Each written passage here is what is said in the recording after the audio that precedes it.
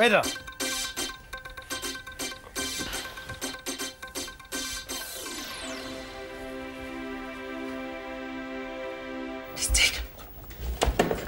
Hello there, and welcome to you all from the weather room.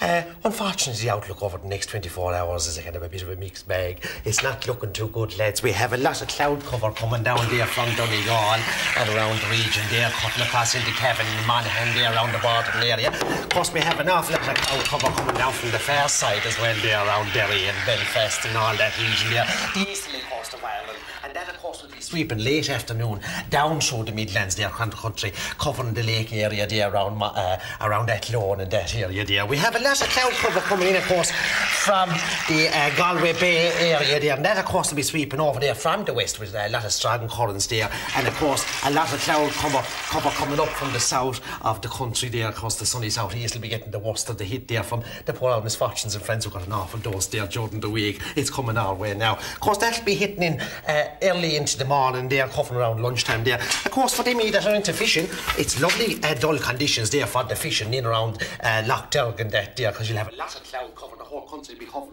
there more or less. We could get the odd sunny spell in around the middle there, lads. That's, uh, you know, it's hard to call. It's hard to know which way it'll go. because we have a lot of wind coming in later on today. So around afternoon, mid-afternoon, it could clear a small bit there around the Midlands, of course. And that, uh, then if that clears well enough, it could turn into a, an awful lot of kind of a hot area there, which could, you know, could burn away there for the evening. You wouldn't know you get a forest fire, whatever. Of course, it could be dampened down with hailstones later into the afternoon, uh, which could come in there with a cold front coming down from the north. Uh, of course, we also we could we could be expecting snow, lads. You wouldn't know because we have another cold front coming down here with the clouds sweeping down from the north. Of course, we have a warm front coming up from the Sahara Desert there around Africa. Of course, that'll be making prime conditions for the black beetle.